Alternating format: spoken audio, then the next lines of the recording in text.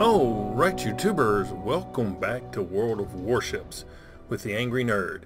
And today I thought we would take a look at the British Tier 3 premium battleship, the HMS Dreadnought. Now the HMS Dreadnought was the Royal Navy battleship that revolutionized naval power. Her name Dreadnought stems from the archaic English meaning a fearless person.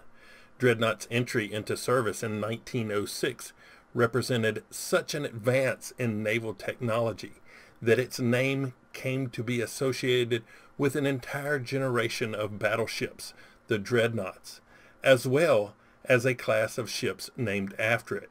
Likewise, the generation of ships she made obsolete became known as pre-dreadnoughts. Dreadnought was the first battleship of her era to have a uniform main battery rather than having a few large guns complemented by a heavy secondary armament of smaller guns.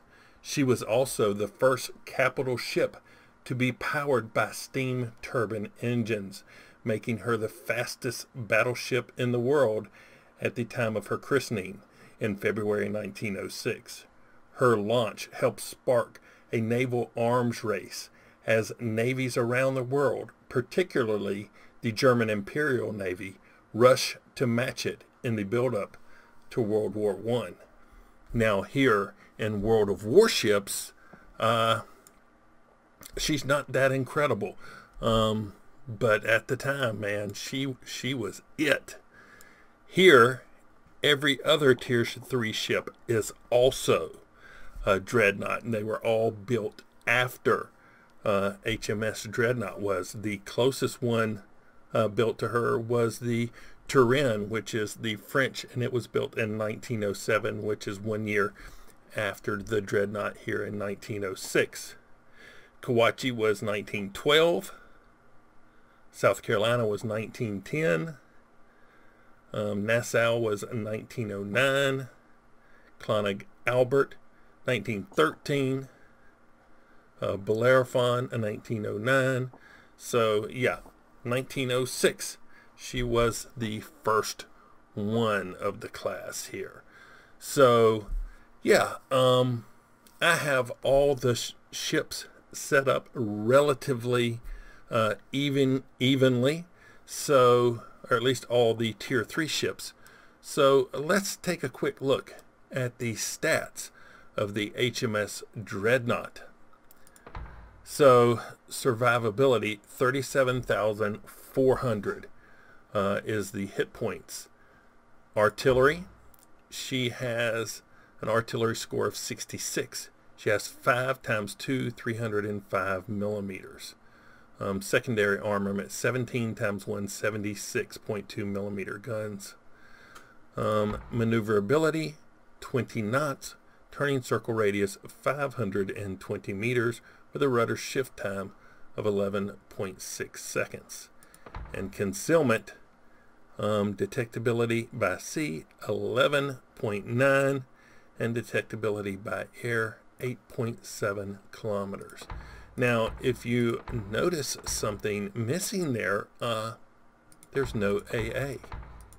This ship has an AA rating of zero. it has no anti-aircraft armament whatsoever. So yeah, you can't even select aircraft when they're around you.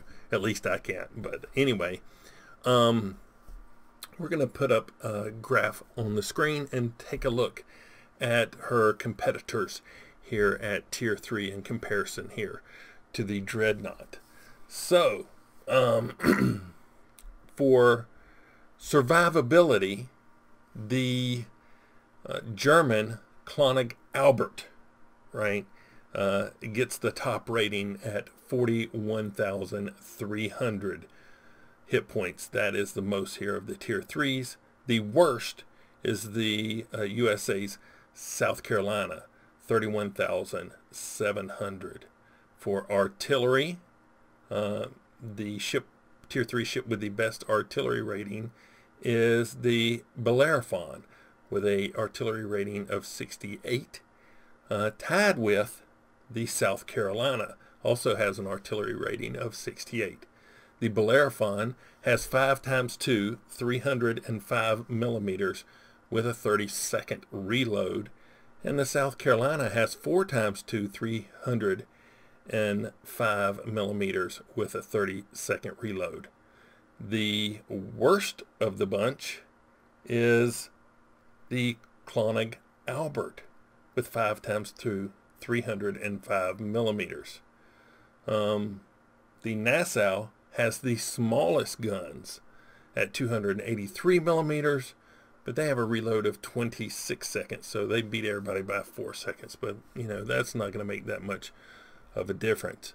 Nobody has torpedoes at this tier. Uh, AA Defense, uh, the Dreadnought is absolutely the worst with a zero rating, and the best is the Bellerophon. But the French Turenne only has a 3. So nobody really has good AA defense here at Tier 3. Maneuverability, the Bellerophon is the best with a rating of 28, and the South Carolina is the worst with a rating of 16. Concealment, the Kawachi comes in on the top score with a concealment rating of 69. And the Bellerophon, the British Bellerophon, comes in with a 50. So you can see how the Dreadnought compares to the other ships. Now, why don't we assign a commander to this ship? Well, before we do that, why don't we take a look at the modules. So it is a premium ship. It does come fully upgraded, but we do get, or let's see, I guess these are upgrades. So yeah, all the modules are selected, but there are upgrades here. So I have selected main armaments modification for the first slot and damage control system for the second slot. Um, for the um, ammunition and consumables, I went with damage, damage control party number two and repair party number two. You really don't have much of a choice there. So, you know, anyway, now let's add the commander. We'll see what commander skills I put on. Okay, so I have a 13 point commander here on the Dreadnought, and these are no particular order. I'm just going to go through tier 1, tier 2, and then the tier 3. I am not even worried about tier 4 skills here on a tier 3 ship. So I did select priority target. I also selected expert loader. Um, high alert for tier 2 along with jack of all trades and expert marksman along with adrenaline rush. For the tier 3 I selected basics of survivability. So I didn't do anything in the aircraft because this ship doesn't have any air any aircraft. So this is what I did with my 13 points. I'm sure people will do something entirely different, but this is how I have the ship set up. Um, exterior, right? Um, this, I have the white for meritorious service camouflage mounted right now because I thought it looked better. I'm really not a big fan of the standard um, Type 9 Dreadnought camouflage that you see here. So, yeah, we're going to leave it white. I thought that looked a little bit better. Um, what else do we have? Oh, yes. I guess I need to tell you how you can acquire the Dreadnought. You can find her in the premium shop bundled with the HMS Vanguard. Now, currently, you can get the Vanguard as a standalone ship, but not the Dreadnought. You have to get it in the bundle pack. Um, this ship, it, it's not bad. It's not like outstanding. You're not going to go in and beat everybody up because, hey, you are the oldest ship in the tier. But you are completely comparable to all the other tier 3 battleships and you can hold your own against some tier 4 battleships. the thing that I have had the most problems with in the Dreadnought, as well as the other Tier 3 battleships, is um, AA. When you get set upon by a carrier, these things are so slow and so unmaneuverable that, you know, there's just not much you can do with it. And like I say, with the Dreadnought here with an anti-aircraft rating of zero, uh, you you can't even select the aircraft to even you know uh, make yourself feel better like you're trying to fight back. The carriers can just uh, pick at you um, at will, and there's really nothing you can do about it. Also found the ship uh, being so slow that uh, if you do get out of position, you, it's hard to get back into the fight. So, anyway, uh, that being said, why don't we hop into a game and uh, see what I was able to do with the HMS Dreadnought. Here we go. All right, looks like we picked up a big race. Let's take a look at these other battleships in comparison. So, looks like my best match are the two tier threes. But we'll see. Hopefully, I won't run into anybody who beats up on me.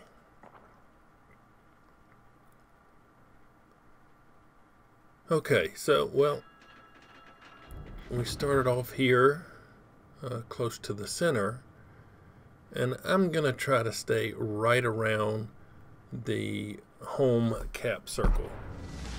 Um, this thing is just really slow, and if you venture too far out and somebody starts capping you, you can't get back. Um, but I should be able to bring fire on uh, most sections of the map if I just kind of stay around in the green circle. Um, depends on how the game's going, but I'm going to stay here until I figure out what's happening. It just just seems really slow. I guess maybe because I haven't played uh, Tier 3 battleships in quite a while. But I mean, look at, we are rocking at 19, 19.4 knots right now.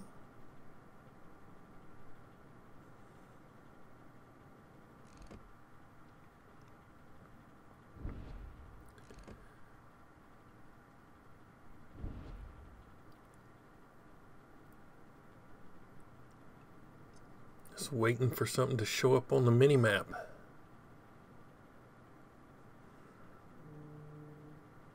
All right. See something down south. Um, a Caledon is down there. That might be nice to shoot at. So we are going to adjust course and uh, start heading over this way.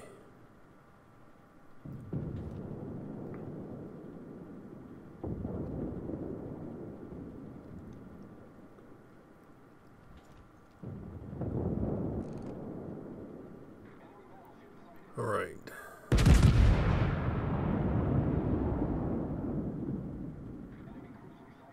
Um, those missed completely. Close only counts in horseshoes and hand grenades.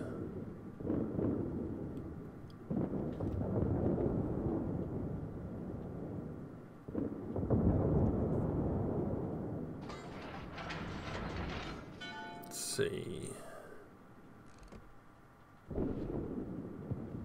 The Yubari is in range. Oh, he just dropped out of sight.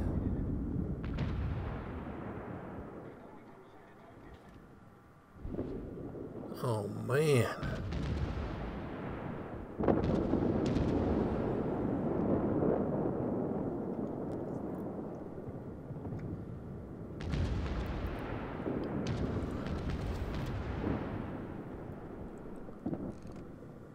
All right. Loaded back up. Come on. Those gotta be good. There we go. Not much damage on him because he took a big hit right before my shell, right before my shells got there. St. Louis over there. Kuma right here. See if we can get a shot in on him before he gets behind the island. Let's see. Come on. We might let him a little too much. Yeah.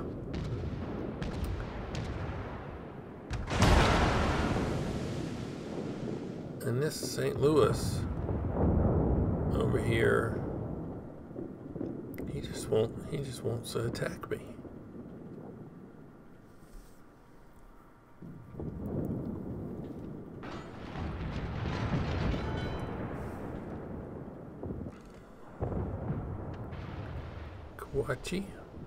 Wait, the St. Louis is coming out from behind the island. Check these torpedoes. So we're going to wait on him. Looks like he may still be giving broadside.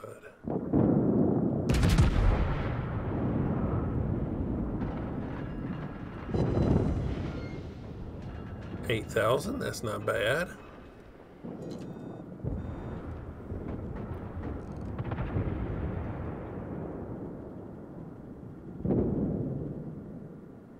Come on, reload, reload.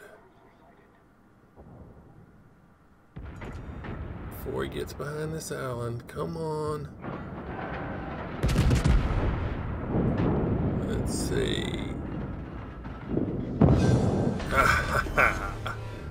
there we go.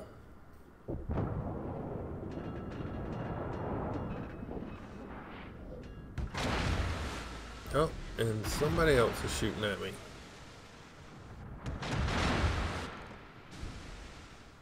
I don't see anybody over there to shoot back at, so... Oh, it must be that Kawachi. He's behind the island.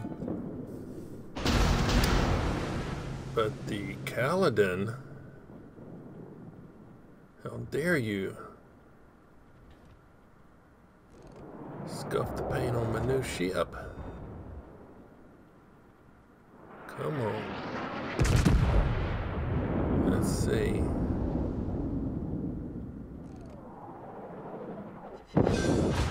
Oh my goodness. Wow. Two citadels. And my biscuits is burning.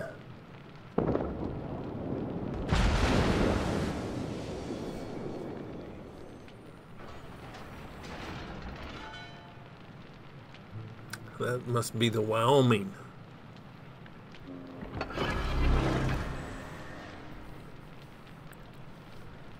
Go ahead and start regaining some health.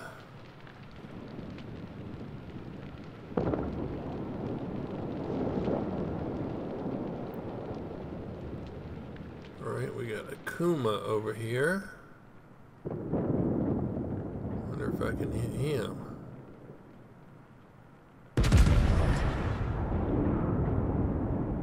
Let me get these back guns. Man, another citadel. Ah. Okay.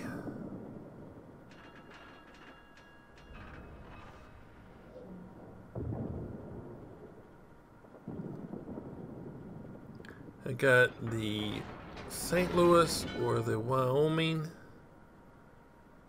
to shoot at. I'm going to slow down, shoot at the St. Louis because the Wyoming is going behind the island. So this is basically the only thing I can shoot at right this minute.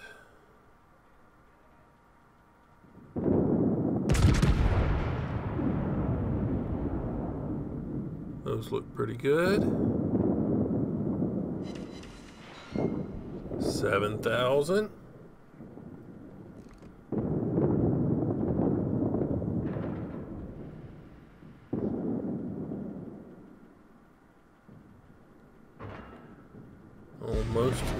Reloaded. Just keep that same course, dude. Let's see. Oh, he may have slowed down or something. Let's look a little... Not, not near as good.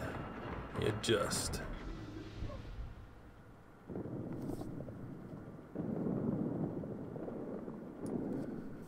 Oh, he's turning. He's turning.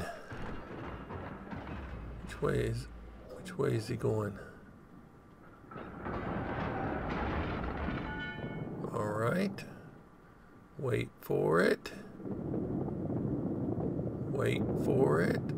And that looks pretty broadside. Those look pretty good. There we go. Four goal haul.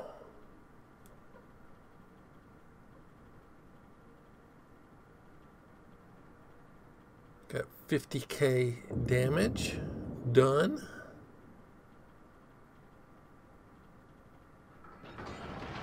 There's no way I can get anywhere close uh, to that ship in the uh, northeastern corner. That just can't happen. It's too far away.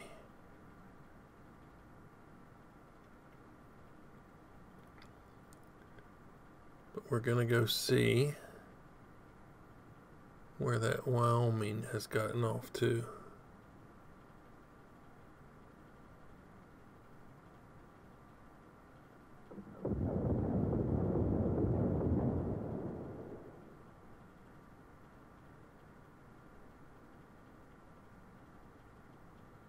Oh, he's over there behind the island.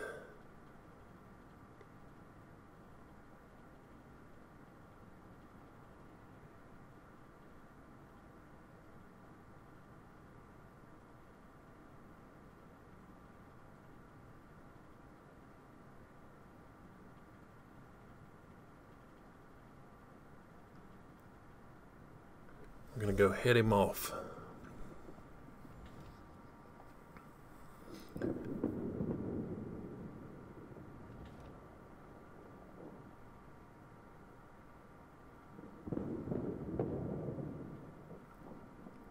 See what he has 43 no 32,000 health. I've got 34. Um, this might be a good matchup. Somebody else is pecking at him a little bit. Alright, here we go. He's down to 30.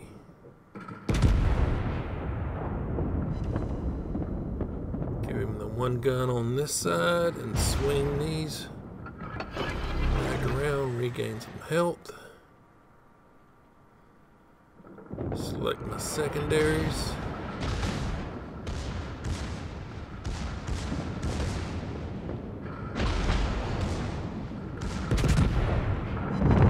There we go, 8,500.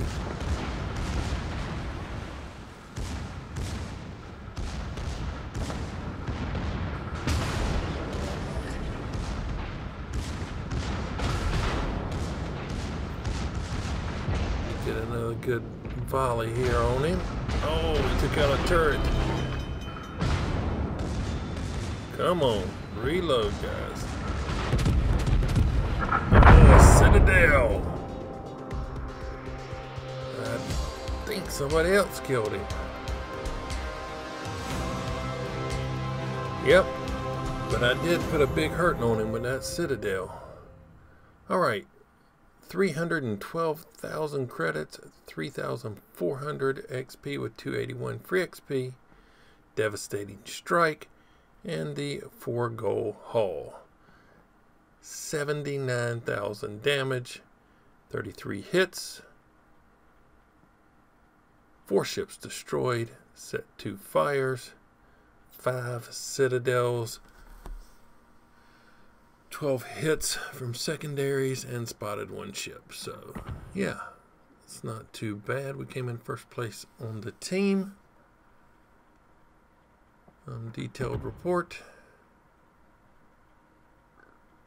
Sunk the Caledon, St. Louis, Second St. Louis, Yubari, and did 28,751 damage to the Wyoming. So the HMS Dreadnought, would I recommend this ship? Um, probably not. Just simply because of the price of those premium packs. Uh, I, I just can't do it. I might could see paying 10 or $20 for a premium ship in a video game, but these are not tangible objects that I'm going to have outside of the virtual uh, world here. So, yeah, I can't spend that much money. I got kids to feed. But if you're a collector uh, and just want to collect all the ships in the game, this one is not that much different than any of the other tier 3 ships in the game. So, yeah, if that's what floats your boat, then uh, go for it. But I can't, in good honesty, recommend somebody spend that kind of money.